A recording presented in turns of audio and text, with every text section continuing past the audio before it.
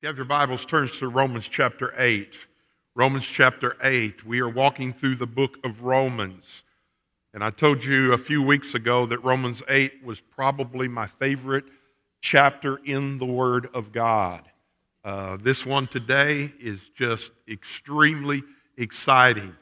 If I get real excited and for some crazy reason I take off running, all right, just give me time to calm down and come back, all right? Uh, because if you cannot get excited about this passage, there is something wrong in your spiritual life. I'm just going to put it that way. Because there are so many promises. There are five promises in the Word of God which are amazing. It's amazing.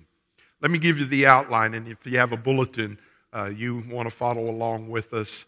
Uh, first, God's everlasting love. We are talking about God's everlasting love. Number one, there is no intimidation.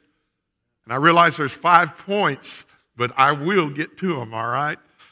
Normally we have three, but it's just the way the scripture breaks down. Number two, there's no deprivation. No deprivation. Number three, there's no accusation. Accusation. Number four, there is no condemnation. No condemnation. And number five, there is no separation. No intimidation, no deprivation, no accusation, no condemnation, and no separation. You know, up to this point in the book of Romans, Paul has been teaching three ma- major points. One is the depravity of mankind. Folks, man with God, without God is doomed. If they die in their sins, they will go to hell according to the Word of God. Number two, justification by grace through faith. Okay, you can't work your way in, you can't be good enough, you can't do enough, you can't say enough. It is grace by faith. God's riches at Christ's expense. And number three is sanctification by the Holy Spirit. I thank God for the Holy Spirit. I thank God that He is inside of us. I thank God that if we will listen to Him, we will do the right thing. Paul also spoke of God's sovereignty in Romans uh, chapter 8, which says, God proactively foreknew and predestined believers to be like his son, then faithfully called and justified his children. God will also glorify us with new and perfect bodies so we can live in heaven with him forever and ever. That is that glorification he is talking about in Romans chapter 8. In today's text, Paul asks four rhetorical questions, and really he aims it at Satan himself. Okay, Satan himself. Number one, who is against us? These are rhetorical questions. Who will bring a charge against God's elect is the second one. The third one is, who is the one who condemns us? And we know that's Satan. Who will separate us from the love of God? And the answer to all four questions is no one. No one can separate us from the love of God which is in Christ Jesus. Let's look at the five promises in Romans chapter 8, beginning in verse 31. What then shall we say to these things? And again, he's talking about everything that he has said so far in chapter 8, and it also could be in uh, the book of Romans. If God is for us, who can be against us? Notice how he uses the word if. It's not a doubtful thing. If, and you could put the word because in there and still do the scripture right. So, because God is for us, who can be against us? And when you think about God being for us, I thought about this and I jotted down God is for us, God is in us, and God is with us. And the Trinity describes those four things God is for us, the Holy Spirit is in us, and Jesus' example is with us. It's not we have one thing, we have the Word of God to guide us. But we have the Trinity God the Father who created everything, God the Son who died on the cross for our sins, and God the Holy Spirit who indwells believers. So I am telling you, folks, there should be no intimidation in our lives. But we are intimidated. Matter of fact, the word here is fear. Okay, intimidation brings on fear. And I am telling you, Satan is the master of intimidation. He likes to talk about your past, he likes to talk about your sin today. He tries to tell you you have no future or you are not secure in Christ. And listen to me as a child of God, we should not fear anything. The number one fear, every, every survey I've ever seen, the number one fear is death.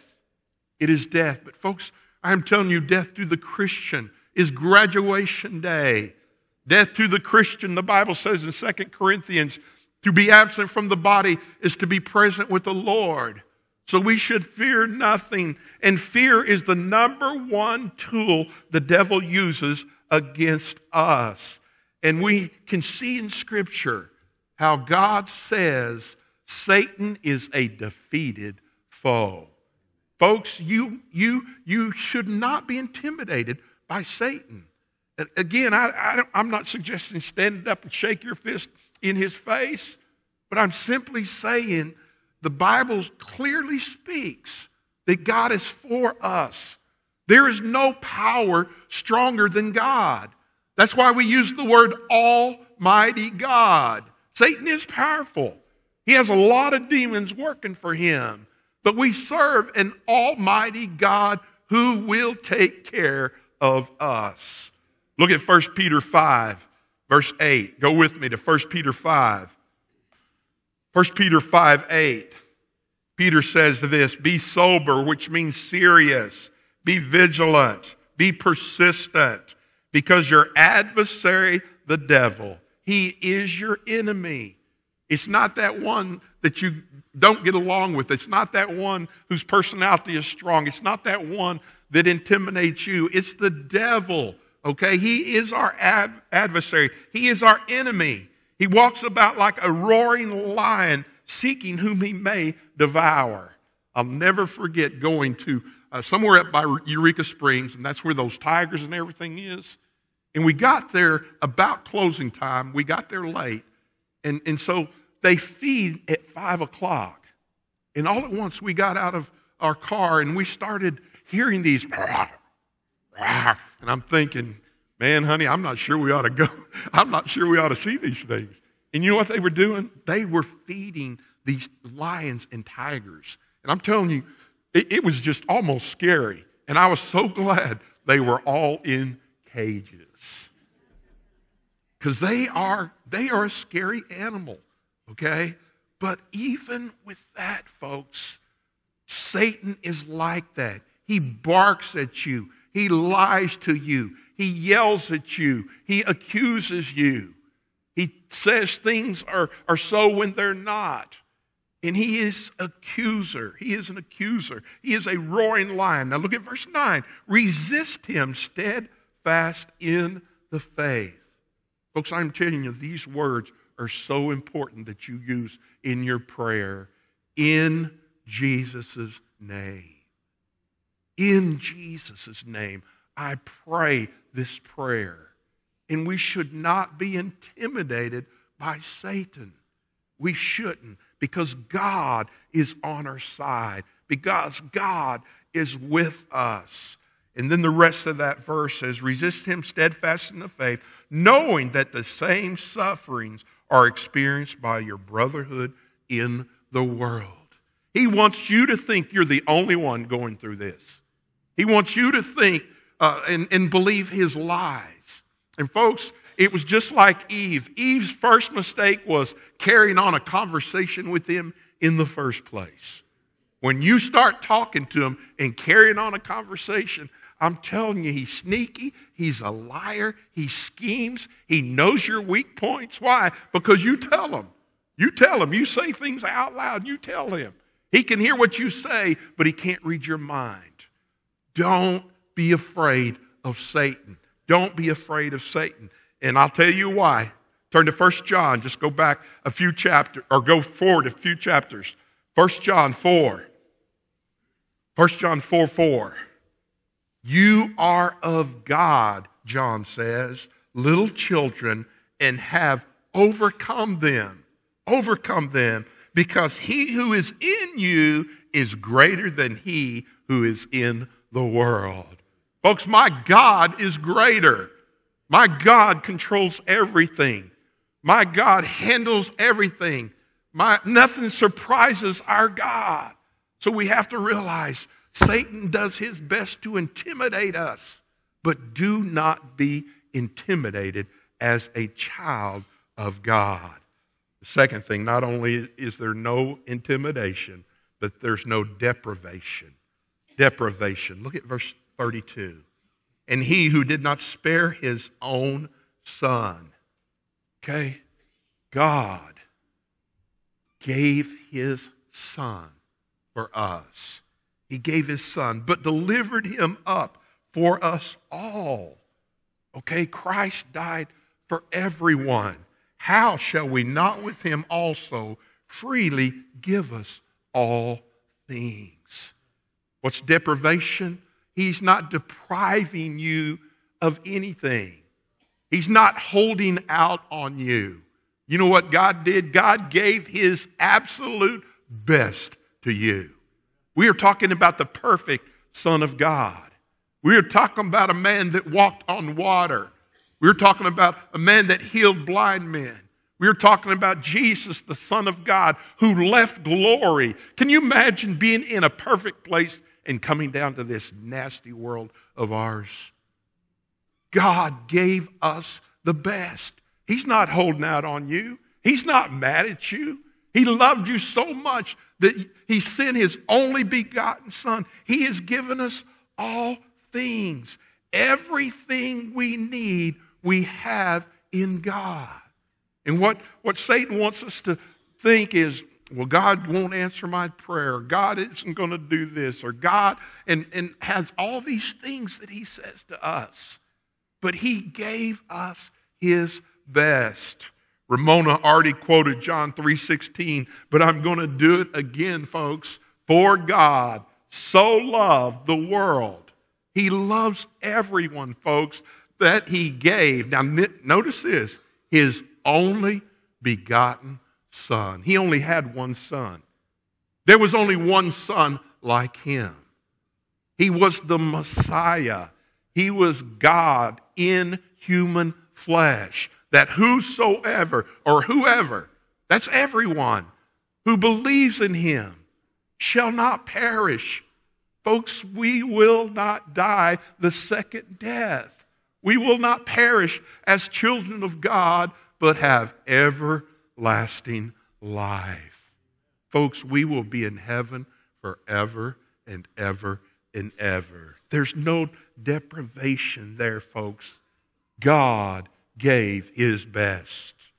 The third thing I want you to see there's no intimidation, there's no deprivation, and there's no accusation.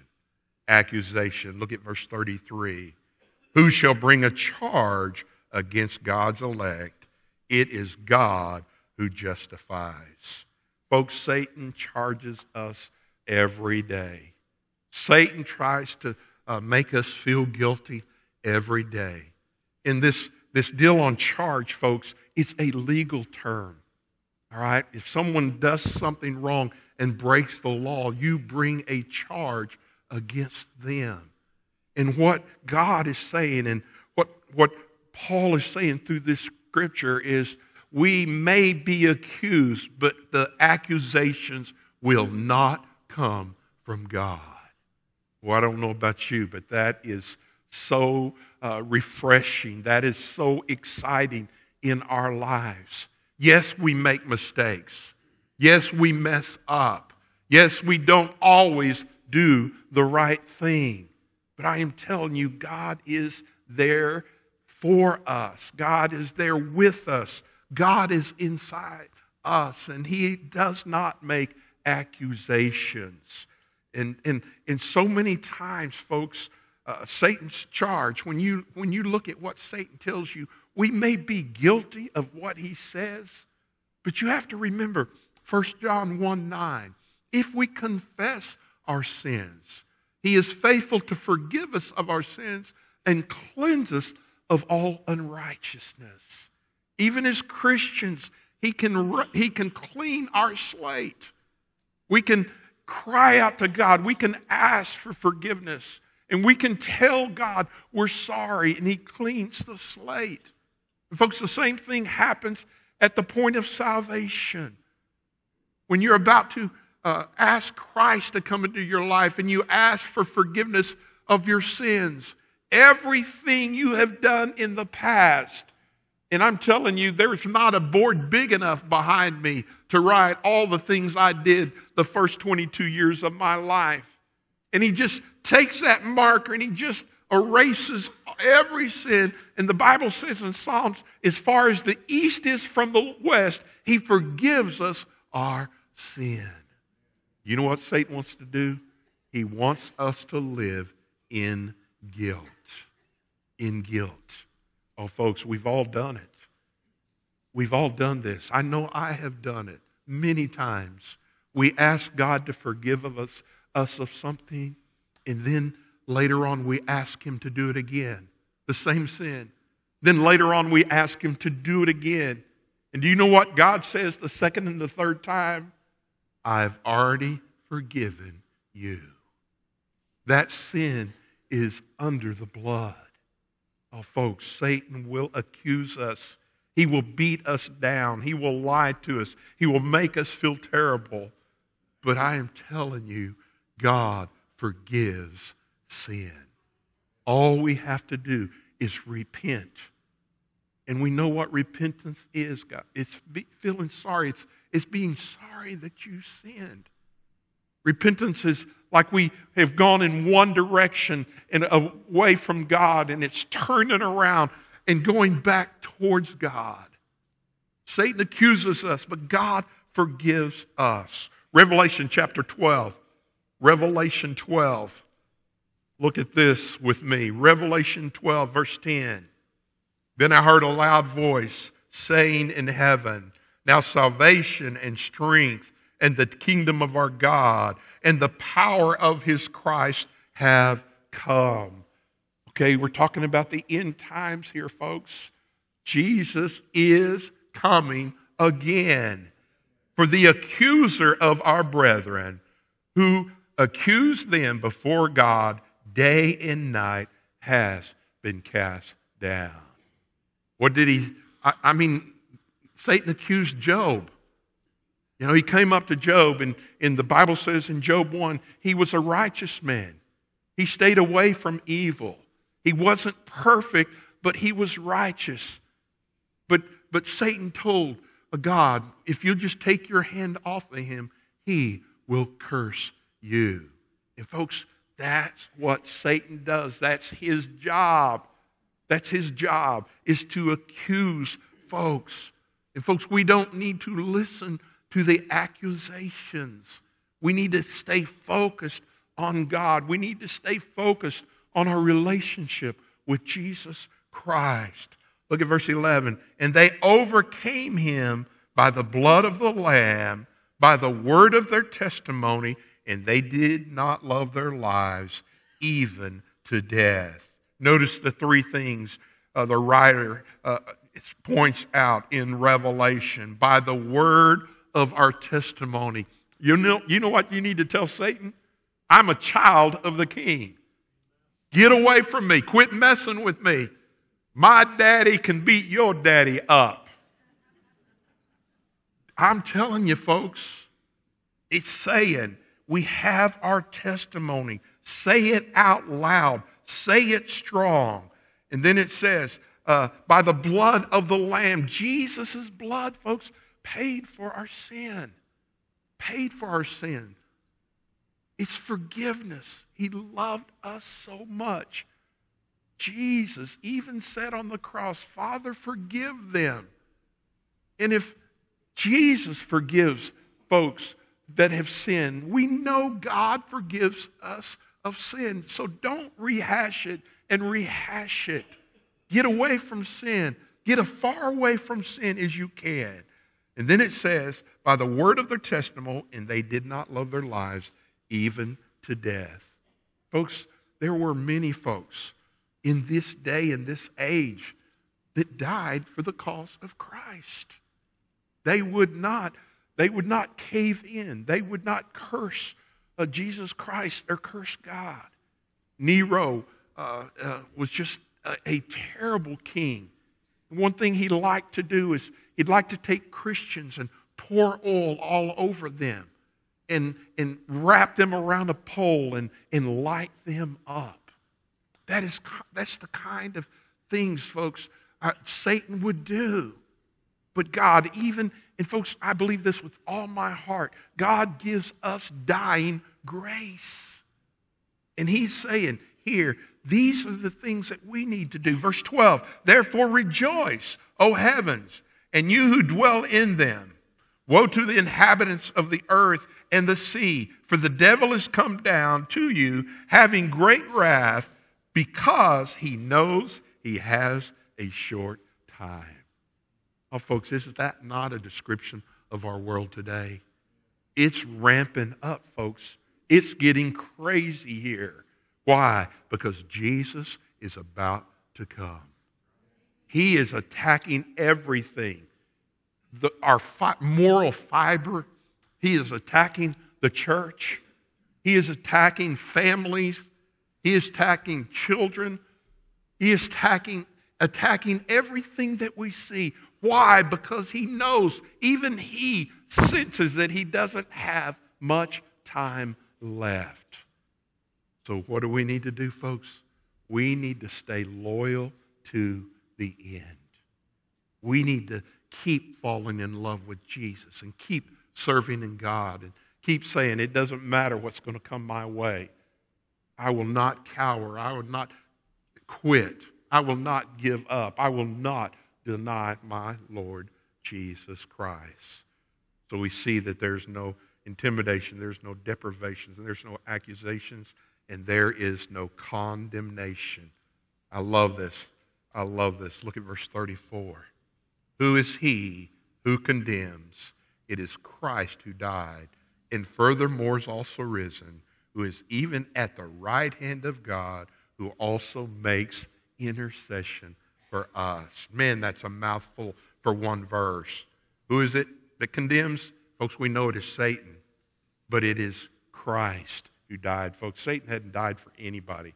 Satan doesn't care about your family. He doesn't care about your life. He doesn't care about anything about you. He just wants you to go to hell with him, and that would satisfy him. It is Christ who died, and we know at Calvary, and is risen. We're not serving a statue on a mantle, folks. We are serving the King of Kings and Lord of Lords. We are serving a God that wants to be every bit a part of our lives. We serve a God who answers prayers and hears every one of our prayers. We need to understand there is no condemnation in Christ, who is even at the right hand of God, and we know that's where He is, and makes intercession for us. Folks, He prays for you. Jesus prays for you according to the Word of God. Jesus listens to your prayers. Jesus wants what's best for you. Jesus wants God's will to be to happen in your life. Jesus wants that for you. So folks, he is not condemning anyone. He is loving us. He is encouraging us. He is watching over us. Look at Romans 8. Just turn back one page. Romans 8, verse 1. There's therefore no condemnation to those who are in Christ, who do not walk according to the flesh, but according to the Spirit. We're either walking in the flesh or we're walking in the Spirit. And we as Christians need to walk in the Spirit. For the law of the Spirit of life in Christ has made me free from the law of sin and death. Do you realize you don't have to sin? You don't have to sin. Jesus and God has made you free for what was uh, what, for what the law could not do in that it was weak. through the flesh, God did by sending his own Son in the likeness of the sinful flesh on account of sin. Oh, folks, Jesus Christ died for your sins. He will not condemn you. Matter of fact, if you were in the court of law, he would slam the gavel down and say, Not guilty. Your debt has been paid. Tetelestai. Paid in full. Oh, I love the song, Steve. Jesus paid it all. All to him I own. Sin has left a crimson stain. He washed me white as snow. Oh, folks, there's no condemnation with God and Jesus. And then the last thing, and I love how the writing goes here because God, through the Holy Spirit, spoke to Paul and he, he saved the best one for last. The best one for last. There is no separation. No separation. Look at verse 35. Verse 35. Who shall separate us from the love of Christ? Shall tribulation or distress or persecution or famine or nakedness or peril or sword? The question is asked, the last one Is there anyone, anyone, or anything take away my salvation? Is there anything that can do that? And, folks, the answer is no. There is nothing. And we call it security of the believer. Once saved, truly saved, always saved. And I'll show you two scriptures here that makes this as plain as day. There are a lot of folks and a lot of people that believe otherwise. But I'm telling you, you are you are in cement with God. You know, nothing's going to take. And really, the best illustration I have is when Christ comes into your life, okay, in the person of the Holy Spirit. Uh, God takes you and he convicts you of sin. Jesus Christ dies for you and he puts his hand around you and Jesus puts his hand around you. And the third thing is he wraps that in the Holy Spirit when you are truly saved. And to get to you, I'm telling you, you'd have to break the bound of, of the Holy Spirit. You'd have to take off the hand of Jesus and take off the hand of God. And, folks, there's nothing more powerful than God and Jesus and the Holy Spirit. You are saved forever. Look what it says For your sake, we are killed all the day long and accounted as sheep for the slaughter. Why would he throw that in there? Same thing, folks, because of the Roman days, because of the Roman emperors. They died for the cause of Christ. And I'm telling you, the closer we get to Jesus coming, folks, persecution is going to get harder and harder and harder. There are already missionaries in third world countries that die for the cause of Christ. There are missionaries who smuggle in Bibles and try to give away a copy of the Word of God. And if they, if they get caught, they die for the cause of Christ. So he's saying, even in death, you are mine. You are mine. Now look at verse 37. Yet in all these things, we are more than conquerors through him who loved us. Folks, we are more than conquerors. That's talking about super conquerors. That's talking about you can overcome anything in your life with God and Jesus and the Holy Spirit. They are in you, they are with you, they are for you.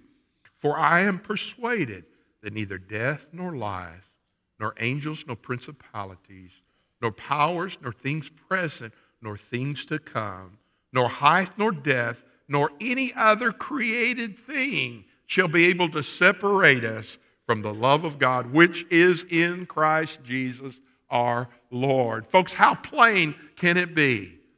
Nothing can separate you from the love of God in Christ Jesus. And you know what? it says we are conquerors, we are overcomers. And listen to this God does not give us an overcoming life. He doesn't give us what you're saying is God favors people. He favors some and doesn't favor others. He doesn't give us an overcoming life. He gives us life as we overcome. Oh, folks, we're all going to go through tests. We're all going to go through trials. We're all going to go through tough situations in our life. But we can be overcomers through Jesus Christ our Lord. John chapter 10, John chapter 10, the last verse, and I'm done. John 10, verse 27. John 10, 27. My sheep hear my voice, and I know them, and they follow me. Folks, God knows who's saved and who isn't. God knows who's His and who isn't. And if you're here today and you are not born again, if you have never invited Christ into your life, you can do that today. My sheep hear my voice, I know them and they follow me, and I give them eternal life, and they shall never perish. What's the word never? We know what that means. Neither shall anyone snatch them out of my hand. That's twice he has said that. My Father who has given them to me is greater than all, and no one is able to snatch them out of my Father's hand. I and my Father are one. Folks, nothing can separate us from God's love. Nothing. We are more than conquerors in Jesus Christ our Lord. We can lay our head on the pillow at night and sleep well because greater is he that is in us than he that is in the world. I pray that you understand today that there is no intimidation, there's no deprivation, there's no accusation, there's no condemnation, and there is no separation with God. Father, thank you for the day. And God, I thank you for this wonderful passage of Scripture. God, I thank you for these five promises that you brought to us. And God, I pray that we would understand we have these promises, and you have never broken a promise. Never. Your word is yes, it is right, it is amen. So, God, I pray if there's one here that doesn't know you, God, I pray today they would invite you into their life. And God, I pray for the Christian. Lord, I know sometimes Christians get down and Christians feel guilty, and I know Satan just is all over folks. And God, I pray that they would understand who they are in Jesus Christ. God, I pray that they would just repent of their sin, that they would just pray to you, that they would just start over. God, you will erase the board, you will let them start again. Thank you for being that kind of God. And Lord, I pray for those that maybe need to follow the Lord in baptism or join this church by letter or baptism. God, would you just speak to them today? Thank you, thank you, thank you that you have given us everlasting life. Thank you that your love is everlasting. And thank you that we're going to live forever with you. God, we ask all these things in Jesus' name. Amen.